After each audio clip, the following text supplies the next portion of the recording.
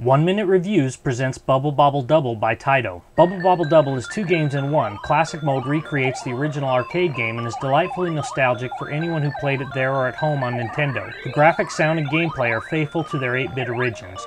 New Style uses Bubble Bobble characters in a bubble popping shooter that has more in common with Galaga than with its namesake. The retro styled but high resolution graphics and remixed soundtrack work well. Gameplay involves timing your bubble pops to destroy chains of attackers and includes challenging boss battles in each zone. Classic Bubble Bobble is a great game that holds its own even today. The remix game wouldn't justify purchase on its own but is a welcome addition. No two player support is disappointing, although Bobblen can be played by the AI. There are also no options for control schemes or sound. Bubble Bobble Double is a universal app designed to play equally well on any iOS device. The game is a bit overpriced and graphically it shows its age, but the gameplay is still as fun as it ever was, so I give this one good bang despite its high price.